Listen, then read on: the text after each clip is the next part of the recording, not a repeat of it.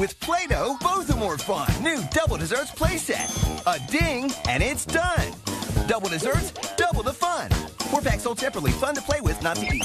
Gonna need more